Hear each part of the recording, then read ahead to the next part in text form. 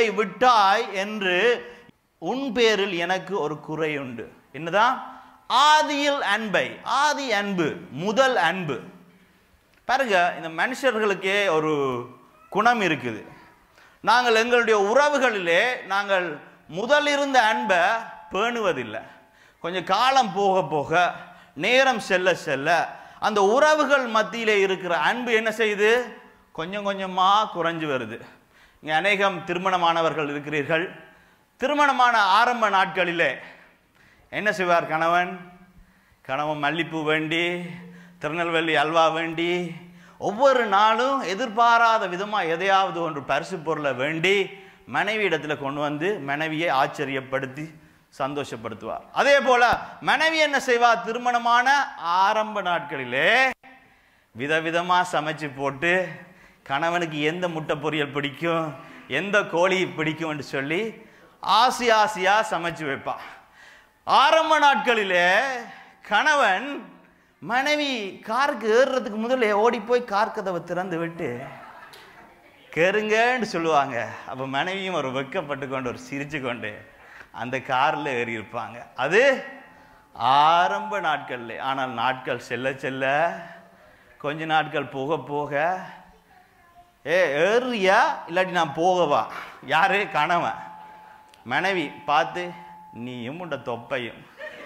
ஒரு கேலி சிரிப்பு வெக்க சிரிப்பு இப்ப? கேலி சிரிப்பு ஆயிட்டது. சில கணவர்கள் இப்போவும் கதவை திறந்து விடுவாங்க கணவன் மனைவிமாருக்கு. திறந்துட்டு மனைவி ஏறுறதுக்கு முதல்ல என்ன செய்வாங்க? ஏறி துளை ஆதியின் அன்பு முதல் அன்பு எங்க போயிட்டுது? இப்பவும் கணவன் மேர் மனைவி மேருக்கு பரிசு பொருட்கள் கொண்டு வருவாங்க. என்ன தெரியுமா? அரிசிமா ரைஸ் குக்கர் ஊத்த உடுப்பு இதெல்லாம் பரிசு பொருட்களாக கொடுப்பாங்க. மனைவிமார்கள் என்ன செய்வார்கள் தெரியுமா? ஏ ஃப்ரிட்ஜுக்குள்ள அந்த பழைய சோறு இருக்குது நாய்க்குட்டி ஜிம்மிக்கு போட்டுட்டு கணவன் ஜிம்மி நீயும் அதே சாப்பிடுன்னு சொல்லுவாங்க. பாருங்க ஆதியின் அன்பு முதல் அன்பு காலம் செல்ல செல்ல குறைகின்றது. இன்று நாளும் நான் உங்களோடு பேச வந்த காரியம் முதல் அன்பு ஆதியின் அன்பு. கர்த்தர் எங்கள் மத்தியிலே எங்களுக்கும் தேவனுக்கும் இருந்த முதல் அன்பை பற்றி பேச வந்திருக்கிறேன். கணவன் மனைவிக்கோ உறவினர்களுக்குள்ளே இருந்த முதல் அன்பை அல்ல. எங்களுக்கும் எங்களை ரட்சித்த கிறிஸ்துவுக்கும் மத்தியிலே இருந்த அந்த ஆதியின் அன்பை விட்டு நாங்கள் விலகி விட்டோம் என்று சொல்லி ஆண்டவர் இன்றைய நாளில் இந்த சபைக்கு எங்களுக்கு ஒரு வார்த்தையை கொடுத்திருக்கிறாரு. பாருங்க அதில் கொடுக்கும் பொழுது அவர் சொல்லுகிறார் ஆரம்பத்தில் அவர் சொல்லுகிறார் உனக்கு பொறுமை இருக்குது நீ பிரயாசப்பட்டு இழைப்படையாமல் என்னுடைய காரியங்களை செய்கிறாய். அப்போஸ்தலர்கள் அல்லாதவர்கள் அந்த வேதத்தை குறித்து சொல்லும்போது இவர்கள் கல் தீர்க்க தீர்க்கதரிசி என்பதை எல்லாம் நீ அடையாளம் காணுகிறாய். பொறுமையா இருக்கிறாய் சகிக்கிறாய். பிரயாசப்படுகிறாய். எல்லா காரியத்திலையும் நீ நல்லா செய்கிற ஆனால் இதெல்லாம் செய்தும் என்ன இடத்துல இல்லை. ஆதியின் அன்பு இல்லை. இனினாலும் இந்த இடத்துல நாங்கள் பிரியாசப்பட்டு வருகிறோம் மூலியங்களை செய்கிறோம் பொறுமையா இருக்கிறோம் சகிக்கிறோம்.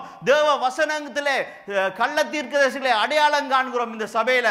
ஆனால் அந்த ஆதியின் அன்பு அந்த முதல் அன்பு கிறிஸ்து எங்களை அந்த படுகுழியிலிருந்து அந்த பாவத்தின் குழியிலிருந்து தூக்கி எடுத்த நாட்களிலே இயேசுவே என் தெய்வமே என்று சொல்லி அழுது அழுது கொண்டு ஓ, சபைக்கு ஓடி வந்ததும் ஜபிக்க போனதும் கர்த்தரை ஆராதிக்க எங்களுடைய கரங்களை மெய்மறைந்து தூக்கி அந்த கிறிஸ்துவை எங்களுடைய நினைவிலே கொண்டு வந்து ஆராதித்த அந்த அன்பு இப்பொழுது எங்களுக்கு இருக்கிறதா?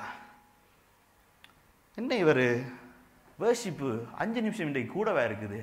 ஏ முந்தி பாருங்க ஆரம்பத்தில் என்ன செய்தோம்? நாங்கள் வேர்ஷிப் பண்ணும் பெறும் பொழுது ஆராதனை செய்ய வரும் பொழுது ஆராதனை எப்படா என்னடா இது கெரியன்னு முடிஞ்சது ஆராதனை. இப்போத்தானே ஆண்டவருடைய பிரசன்னத்தை நான் உணர துவங்கினேன். மெய்மறந்து கண்களை மூடி நாங்கள் ஆராதிச்சு கொண்டிருப்போம்.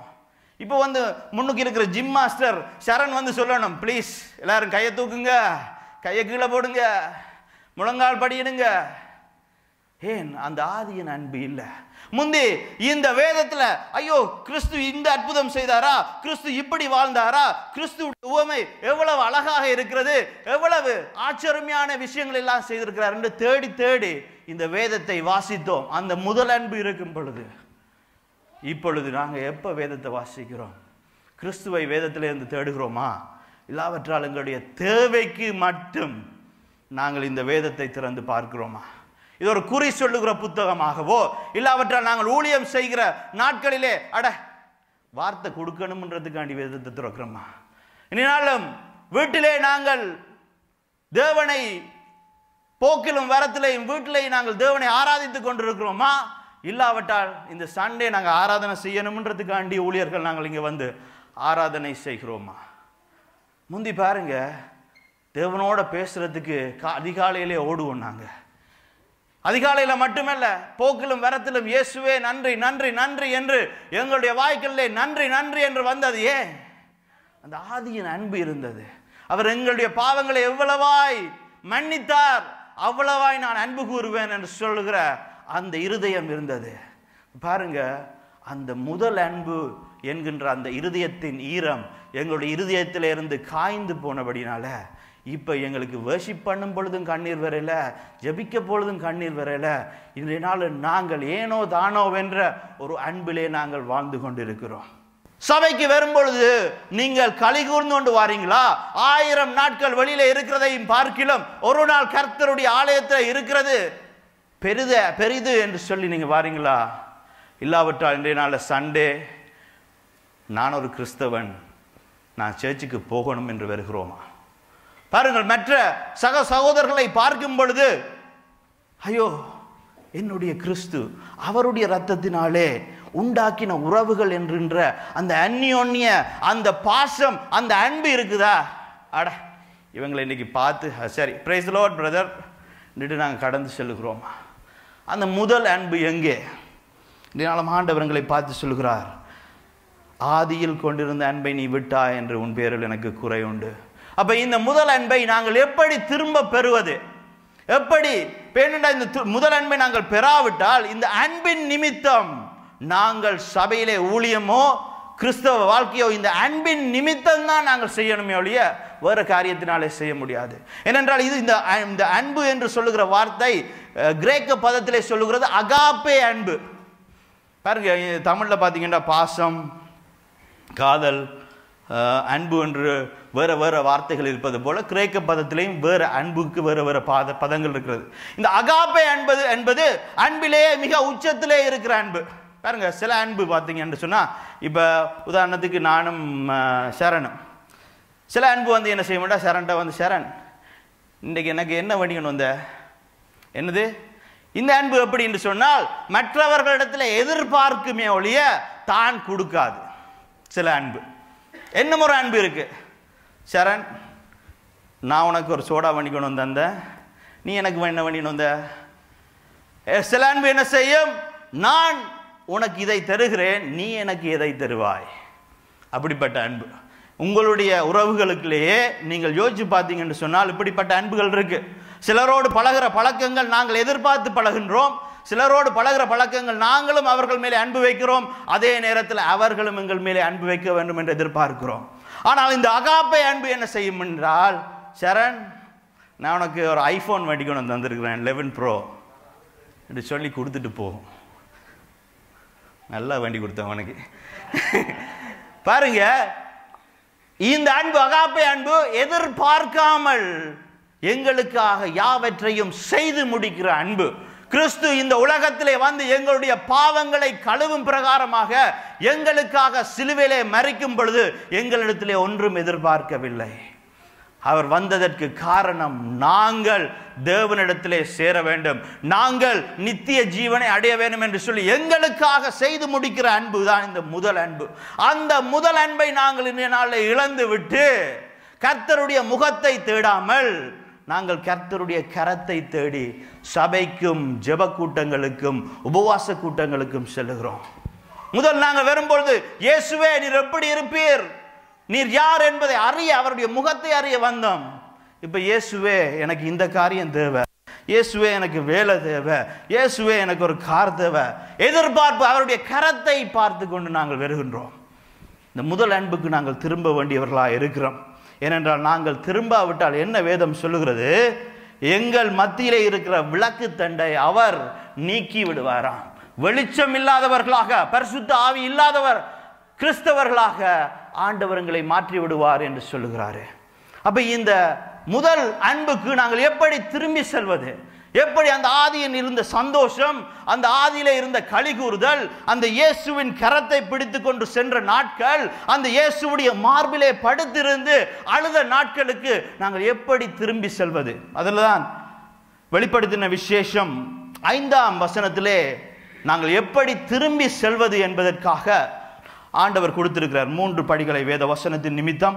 நாங்கள் வாசிப்போம் ஆகையால் இந்த நிலைமையிலிருந்து விடுதலை என்பதை நினைத்து மனம் திரும்பி ஆதியில் செய்த கிரியைகளை செய்வாயாக இல்லாவிட்டால் நான் சீக்கிரமாய் உன்னிடத்தில் வந்து நீ மனம் திரும்பாத பட்சத்தில் உன் விளக்கு தண்டை அதனிடத்தில் நீங்கள் நீக்கி விடுவேன் ஸோ இந்த நாங்கள் இழந்த இந்த ஆதியின் அன்பை இந்த முதல் அன்பை நாங்கள் மீண்டுமாய் பெறுவோம் என்று சொன்னால் நாங்கள் முதலாவது செய்ய வேண்டிய காரியம் நாங்கள் என்ன நிலைமையில் இருந்து விழுந்தோம் என்பதை நினைப்பது.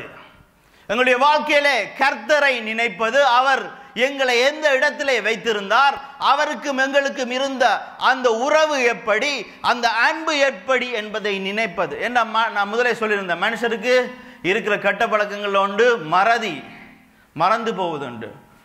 எதனால இந்த மறதி வருது? பாருங்க ஆண்டவர்களை வருகிறோம் ஆண்டவர் எங்களை அணைத்து எடுக்கின்றார் பாவங்களை கழுவுகிறார் எங்களை நீதிமான்கள் ஆக்குறாரு அவருடைய பிள்ளைகளாக எங்களை அபிஷேகிக்கிறார். அதோட விடையில் ஆண்டவர் ஆண்டவர் எங்களை ஆசீர்வதிக்க தொடங்குறாரு. ஆனால் நாங்கள் ஆண்டவருடைய ரட்சிப்புகளை வெறுக்கும் பொழுது நாங்கள் விதைக்காததை நாங்கள் உழைக்காததை கூட நாங்கள் அறுவடை செய்து ஆசீர்வதிக்கப்பட்டோம். அதான் உண்மை. எங்களுடைய முன்னிலைமையிலும் பார்க்க இப்ப நாங்கள் ஆசீர்வாதமாக இருக்கிறோம். அதற்கு காரணம் தேவன். ஆனால் பாருங்க இந்த ஆசீர்வாதங்கள் எல்லாம் வரும் பொழுது எங்களுக்கு என்ன நடக்குதுன்னு நாங்கள் பார்க்க போகின்றோம். உபா உபாகமம் ஆறாம் அதிகாரம் பத்தாம் வசனம் நாங்கள் வாசிப்போம் உன் தேவனாகிய கர்த்தர் உனக்கு கொடுப்பேன் என்று ஆபிரகாம் ஈசாக்கு யாக்கோபு என்பவர்களாகிய உன் பிதாக்களுக்கு ஆணையிட்டு கொடுத்த தேசத்தில் உன்னை பிரவேசிக்க பண்ணும்போது நீ கட்டாத வசதியான பெரிய பட்டணங்கள் நீ கட்டாத நீ கட்டையில நாங்க கட்டையில நாங்கள் கட்டாத பெரிய பட்டணங்களையும். பதினோராவது வசனம். நீ நிரப்பாத சகல நல்ல வஸ்துக்களாலும் நிரம்பிய வீடுகளை. நாங்கள் நிரப்பாத நல்ல வஸ்துக்களினாலே நிரம்பின வீடுகளை எங்களுக்கு ஆண்டவர் கொடுத்தாரு. நீ வெட்டாமல் வெட்டப்பட்டிருக்கிற துறவுகளை. நாங்கள் வெட்டாமல் வெட்டப்பட்ட கிணறுகள் ஜீவ ஊற்றுக்கள் வருகிற கிணறுகளை ஆண்டவர் எங்களுக்கு கொடுத்தாரு நீ நடாத திராட்சை தோட்டங்களையும் ஒளிவ தோட்டங்களையும் நாங்கள் நடாத மரங்களின் கனிகளை நாங்கள் ஆண்டவர் எங்களுக்கு கொடுத்தாரு. எப்ப? நாங்கள் ரட்சிக்கப்பட்ட பொழுது. சொல்லுங்க. அவ- அவர் உனக்கு கொடுப்பதினால். நீ சாப்பிட்டு திருப்தியாகி. நீ அடிமைப்பட்டிருந்த வீடாகிய எகிப்து தேசத்திலிருந்து உன்னை புறப்பட பண்ணின கத்- கர்த்தரை மறவாதபடிக்கு எச்சரிக்கையாயிரு அப்ப முதலாவது காரியம் ஏன் நாங்கள் அந்த முதல் அன்பை விட்டு விலகுறோம் என்று சொன்னால் எங்களுக்கு வருகிற ஆசீர்வாதத்தை நாங்கள் புசித்து திருப்தியாகும் பொழுது நாங்கள் ஆண்டவருடைய முதல் அன்பிலே இருந்து கொஞ்சம் கொஞ்சமா விலகுறோம். ஆரம்பத்தில் ஒரு சின்ன வேலையை கேட்டோம். ஆண்டவரே எனக்கு இந்த ஒரு ஒரு அஞ்சு மணித்தியால வேலை ஒரு ஃபேக்டரி ஜாப்ல வந்தாலே காணும்னு சொல்லி நாங்கள் சின்னனா ஒரு வேலை கேட்டோம். ஆண்டவர் அந்த வேலையை கொடுத்து படிப்படியா உயர்த்தினாரு. இப்ப அந்த வேலையில இருக்கிற மன அழுத்தத்தினால அந்த வேலையில நாங்கள் செலுத்துகிற அதிக கவனத்தினாலே இப்ப ஆண்டவரை கவனிப்பதை விட்டு விட்டோம் சின்னனா ஒரு ஆண்டவர் ஒரு ஆண்டவர்களை வரும்போது சின்னனா ஒரு பிஸ்னஸ் இருந்தது. அந்த பிஸ்னஸை நாங்க போதுமானதா எங்களுடைய குடும்பத்தை அவர் போஷித்து கொண்டிருந்தார். ஆனா இப்ப அது பெருகி பெருகி பெருகி பெருகி போன பிறகு இப்போ எனக்கு பிசினஸை கவனிக்கிறதுக்கு தான் டைம் காணும். ஆண்டவரை கவனிக்கிறதுக்கு டைம் காணாது. இது என்னுடைய வாழ்க்கையில் நான் கண்டறிந்த காரியங்கள். நான் நான் ஆண்டவருக்குள்ளே வரும்பொழுது எப்படிப்பட்டவனாக இருந்தேன் என்று அநேகருக்கு நான் சொல்லியிருக்கிறேன். அப்பொழுது ஒரு நாள் ஜபிக்கும் பொழுது ஆண்டவர் கொடுத்த ஒரு ஐடியாவின் நிமித்தம் நான் ஒரு பிஸ்னஸை தொடங்கினேன் அந்த பிஸ்னஸ் பெருகும் பொழுது நான் ஆண்டவரை விட்டு விலகி போனேன். ஆனால் ஆண்டவர் எனக்கு காட்டி தந்த காரியம் தேவனுடைய ராஜ்யத்தையும் நீதியை நீ முன்வைத்தால் மற்றவைகள் கூட கொடுக்கப்படும் என்று சொல்லி அவர் எப்போ எனக்கு அதை உணர்த்தினாரோ அதில் இருந்து நான் மாறவில்லை. இன்றைய நாள் நான் உங்களுக்கு சொல்லுகிறேன் நீங்கள் ஆசீர்வாதத்தை தேடி போவீர்களாயின் அந்த ஆசீர்வாதங்கள் உங்களில் கைகளை விட்டு போகும். அதையும் விட பெரிய ஆசீர்வாதமாடிய கிறிஸ்துவின் அன்பை நீங்கள் இழக்கிறீர்கள். எங்களுக்கு வருகிற ஆசீர்வாதங்களின் நிமித்தம் திருப்தியின் நிமித்தம் நாங்கள் ஒரு காலம் தேவனுடைய முதல் அன்பை விட்டு விலகக்கூடாது. அந்த ஆசீர்வாதத்தை நாங்கள் பார்த்து தேவனுடைய கரத்தை பார்த்து தேவனுடைய முகத்தை மறப்பதினாலே நாங்கள் முதல் அன்பிலிருந்து விலகி போகின்றோம். சென்ற வருடம் எனக்கு ஒரு ஹார்ட் அட்டாக் வந்தது. இந்த ஹார்ட் அட்டாக் முடிந்த காலத்திலே நான் ஆண்டவருடைய முதல் அன்பிலே இருந்து விலகி போயிருந்தேன். அநேகருக்கு தெரிஞ்சிருக்காது ஏன்? நான் பாஸ்டர் வழியாக ஞாயிற்றுக்கிழமை இங்கே வந்து நிற்கத்தான் வேணும். பிரசங்கம் பண்ணித்தான் ஆகணும் ஜெபிக்கத்தான் வேணும். ஆனாலும் தினமும் என்னுடைய இருதயத்திலே ஒரு கேள்வி. ஆண்டவரே ஏன் எனக்கு இந்த ஹார்ட் அட்டாக் வந்தது? ஏன் எனக்கு இந்த ஹார்ட் அட்டாக் வந்தது? இது பத்தாதுக்குண்டு நான் நண்பர்கள் மத்தியில் போனேன்டா அவங்க சொல்லுவாங்க டேய் நீ பாஸ்டராக இருக்கிற உனக்கே ஹார்ட் அட்டாக் வந்துட்டா எங்களுக்கு என்னட்ட எனக்கு என்ன கோபம் வந்தது? ஆண்டவரே இதுக்கு நீங்கள் எங்களை சாகடிச்சிருக்கலாம். இந்த கேள்வி எல்லாத்துக்கும் நான் கேட்டுக்கொண்டிருக்கிறதுக்கு. பாருங்க சில நேரங்களிலே எங்களுடைய வாழ்க்கையிலே நடக்கிற சில ஏமாற்றங்களின் நிமித்தம் எங்களுடைய வாழ்க்கையிலே வருகிற சில தோல்விகளின் நிமித்தம் சில வழிகளின் நிமித்தம் எங்களை அறியாமல் நாங்கள் தேவன்தான் அதை செய்கிறார் என்ற முடிவை எங்களுடைய இருதயத்திலே எடுத்தோம் என்று சொன்னால் ஒருபோதும் நாங்கள் வெளி வாயினால் சொல்ல மாட்டோம். ஆனால் அந்த காரியத்தை எங்களுடைய அடி மனதிலே நாங்கள் விதைத்தோமாயின் அவரோடான உறவிலே நாங்கள் வளர முடியாமல் போகிறது. அவரோடான அந்த முதல் அன்பிலிருந்து பிரியப்படுகிறோம். இந்த மாரடைப்பு வர்றதுக்கு மூன்று நாளுக்கு முதலே ஆண்டவர் எனக்கு சொப்பனத்தில் காட்டினார். ஒரு பாம்பு கடிப்பதாகவும் அதை நான் உதறி போட்டுவிட்டு எனக்கு ஒன்றும் நடக்காமல் இருப்பதாகவும். ஆனாலும் அவர் காட்டியிருந்தாலும் கூட என்னுடைய இருதயத்தில் நான் ஒரு விதையை விதைச்சிட்டேன். ஆண்டவரே நீங்கள் எப்படி எனக்கு செய்துட்டீங்களேன்னு சொல்லி. இதனால் நான் அந்த முதல் அன்பை விட்டு பிரிஞ்சு பிரிஞ்சு பிரிஞ்சு போனேன்.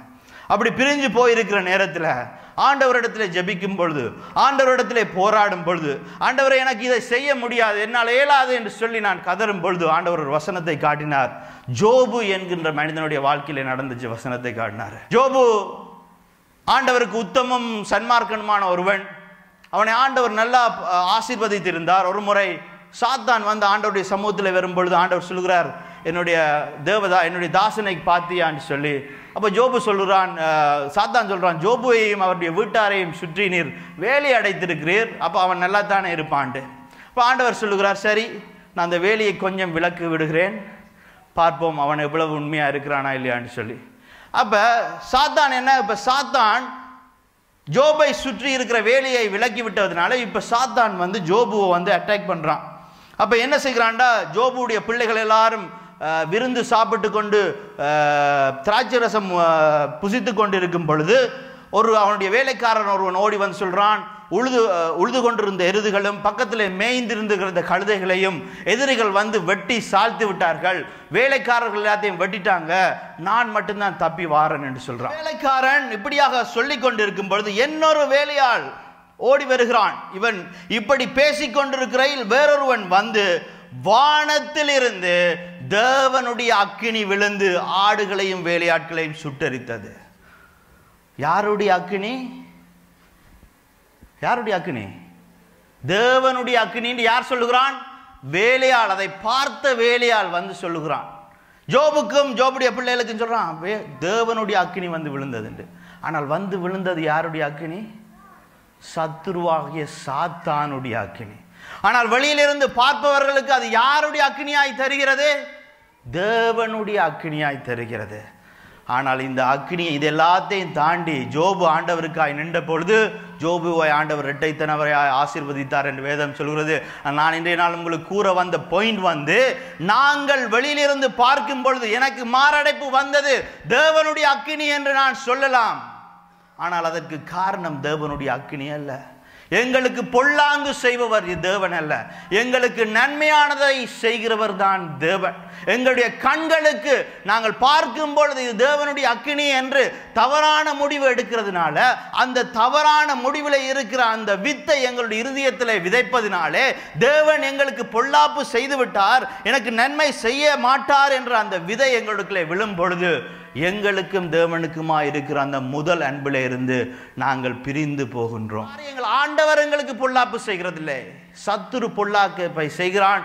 ஆண்டவர் அதை அனுமதித்தாலும் கூட அதை கடைசியாக அதை நன்மையிலே தான் எங்களுக்கு செய்து முடிக்கிறவராக இருக்கிறாரு ஸோ இன்றைய நாளில் உங்களோட வாழ்க்கையில் நடந்த காரியம் உங்களுக்கு ஏற்பட்ட ஏமாற்றம் உங்களுக்கு ஏற்பட்ட தோல்வி வலி ஒருவேளை உங்களுடைய இருதயத்தில் இது ஆண்டவரினால தான் செய்யப்பட்டது என்ற ஒரு சிறிய சிந்தனை இருந்தது என்று சொன்னால் அதை நீங்கள் இன்றைய நாளில் எடுத்து போட வேண்டியவர்களாக இருக்கிறீங்க?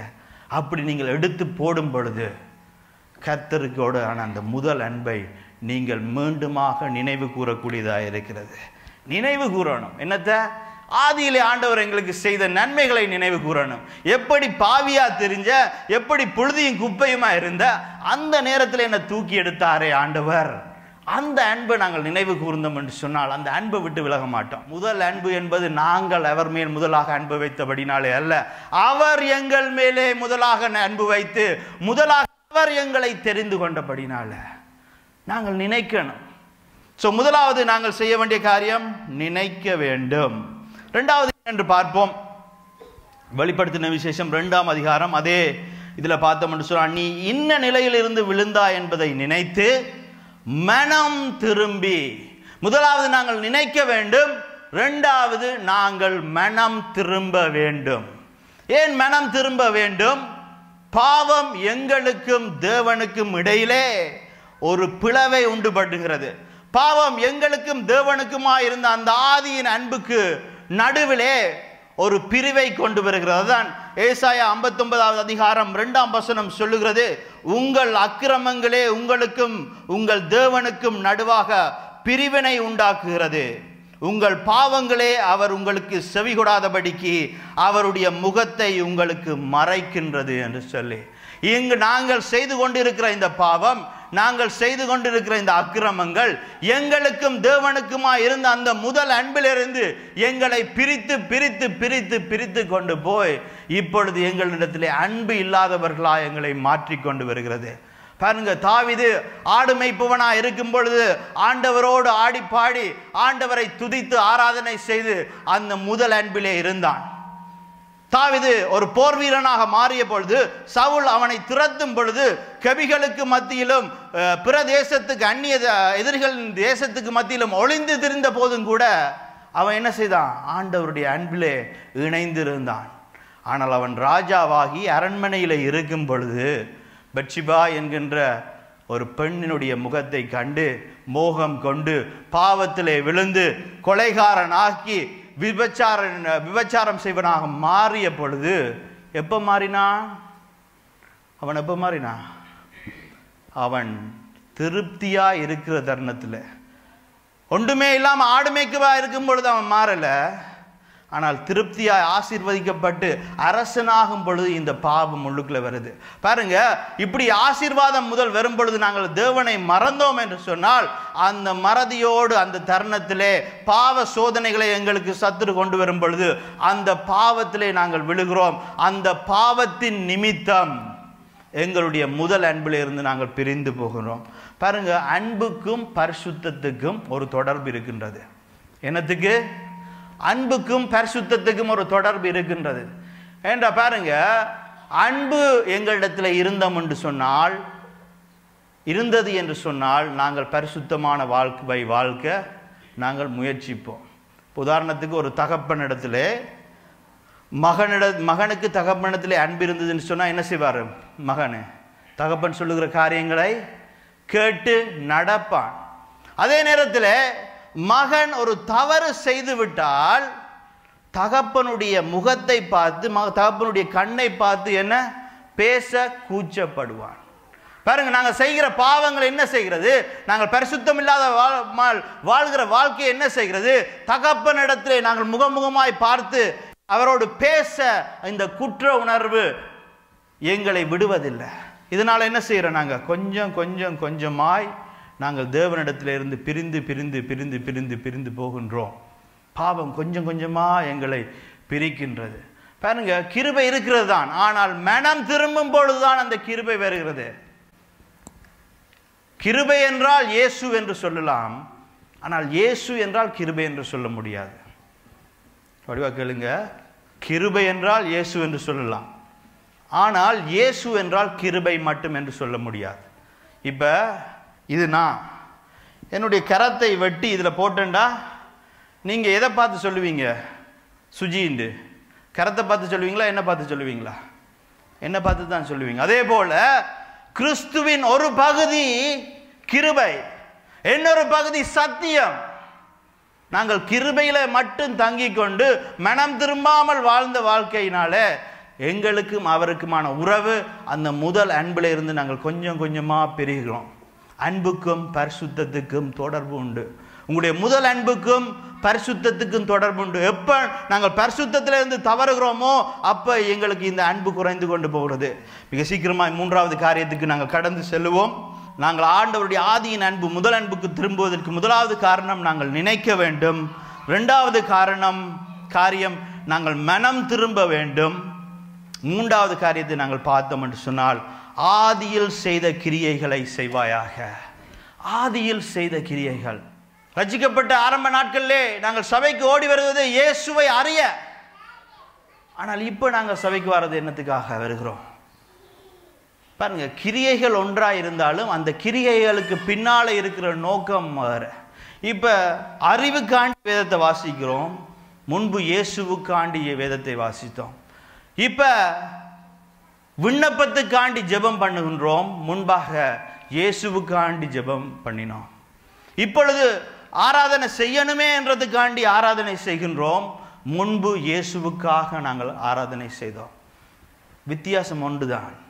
முன்பு செய்த கிரியைகளுக்கும் அன்பில்லாத நேரத்திலும் செய்த கிரியைகளுக்கும் வித்தியாசம் என்னென்று பார்த்தோம் என்று சொன்னால் இயேசு இப்போ நாங்கள் ஒரு சடங்காக ஒரு சம்பிரதாயமாக ஒரு மதமாக நாங்கள் ஞாயிற்றுக்கிழமைகளிலே சபைக்கும் புதன்கிழமையிலே பிரேயருக்கும் வருகிறோம். ஆனால் முன்பு இயேசுவை தேடி வந்தோம். இயேசு மேல வைத்த அன்பின் நிமித்தம் வந்தோம். இயேசுவின் இயேசுவே என்னுடைய முதற் பங்கு என்று சொல்லி நாங்கள் வந்தோம். இப்போ வந்து நாங்கள் கிறிஸ்தவர்கள் அதனால சர்ச்சுக்கு போகணும் என்ற மதம் சடங்கு சம்பிரதாயத்தின் நிமித்தம் நாங்கள் வருகிறோம். ஆராதிக்கும் பொழுது இயேசு அங்கே இல்லை. பாருங்க நாங்கள் இங்கே நாங்கள் கூடியிருக்கிறது நாங்கள் அழைக்கப்பட்டது எல்லாம் ஒருவருக்காகத்தான். அது இயேசு மட்டும்தான். அவரே வழியும் சத்தியமும் ஜீவனும். அவரை நாங்கள் முன்பாக வைத்து சகல காரியத்தையும் செய்யும் பொழுது நாங்கள் ஊழியமாகட்டும் ஆராதனையாகட்டும் ஜெபமாகட்டும் வேத வாசிப்பாகட்டும் உபவாசமாகட்டும் எல்லாவற்றையும் ஒரு சடங்காக செய்யாமல் இயேசு என்ற நபருக்காக நாங்கள் செய்வோமாயின்? ஆதியில் செய்த கிரியைகளை நாங்கள் செய்ய தொடங்குவோம். பாருங்க ஜேசு மரியாள் மாத்தாள் விட்ட ஊழியத்து காரியத்துக்காக போகிறார். அங்கே மாத்தாள் என்ன செய்கிறாள்? வேலையெல்லாம் செய்து கொண்டிருக்கிறாள். வேலையெல்லாம் செய்துட்டு பார்த்தா மரியாள் வந்து கா த- இயேசுடைய காலடியிலே கிடக்கிறாள். இப்போ மாத்தாளுக்கு கோபம் வந்துட்டு. உடனே ஓடி வந்து அவள் சொல்லுகிறார் ஆண்டவரே இவள் வந்து எத்தனை வேலை இருக்குது ஊழிய காரியமெல்லாம் இருக்குது அதெல்லாம் விட்டு உங்களோட காலிலே கிடக்கிறாள். நீங்கள் இதை கவனிக்க மாட்டீங்களா? அவளுக்கு புத்திமதி சொல்ல மாட்டீங்களான்னு சொல்கிறாரு சொல்கிறாள் அதுக்கு ஆண்டவர் சொல்லுகிறார் லூக்கா பத்தாம் அதிகாரத்திலே இயேசு அவளுக்கு பிரதியுத்தரமாக மார்த்தாளே மார்த்தாளே நீ அநேக காரியங்களை குறித்து கவலைப்பட்டு கலங்குகிறாய். தேவையானது ஒன்றே மரியாள் தன்னை விட்டடுபடாத நல்ல பங்கை தெரிந்து கொண்டாள். அந்த நல்ல பங்கு யார்? இயேசு. இதனாலே நாங்கள் ஊழியம் செய்யட்டும் நாங்கள் ஜெபத்துக்கு போகட்டும் நாங்கள் சபைக்கு போகட்டும் நாங்கள் வேதம் வாசிக்கட்டும் எல்லாமே அந்த நல்ல பங்காகிய இயேசுவுக்காக நாங்கள் செய்தோம் என்று சொன்னால் அது எங்களுடைய முதல் அன்பை விட்டு எங்களை பிரியாமல் எங்களை காத்து கொள்கிறது என்னதான் நாங்கள் ஊழியத்துக்காக ஓடலாம் ஆனால் இயேசுடைய காலடியிலே இருந்து அவருடைய மார்பிலே சாய்ந்து அவரோடு கூட அந்த நேரத்தை நாங்கள் செலவழிக்காவிட்டால் மிச்சம் எல்லாமே வேஸ்டாக தான் போயிடும்.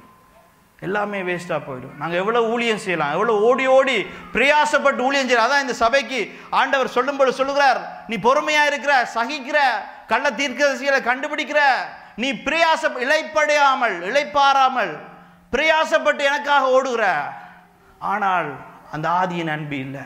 கிறிஸ்துவை நாங்கள் பின்பற்றுவதனால தான் கிறிஸ்தவர்கள். அந்த முதல் அன்புக்கு நாங்கள் திரும்ப வேண்டும். இந்த ஆதியின் அன்புக்கு திரும்ப வேண்டும்.